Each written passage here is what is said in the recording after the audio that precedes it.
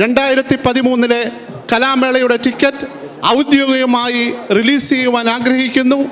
അതിനുവേണ്ടി നമ്മുടെ കമ്മ്യൂണിറ്റിയിൽ ഈ കലാമേള എന്ന സ്വപ്നം സാക്ഷാത്കരിക്കുവാൻ കഴിഞ്ഞ കാലങ്ങളിൽ പ്രവർത്തിച്ച സണ്ണി സ്മരിച്ചുകൊണ്ട് സണ്ണി അങ്കിളുടെ പ്രിയപ്പെട്ടവൾ ശ്രീ രാജമ്മ ഈ ടിക്കറ്റ് ഏറ്റുവാങ്ങുവാനായി ക്ഷണിക്കുകയാണ്.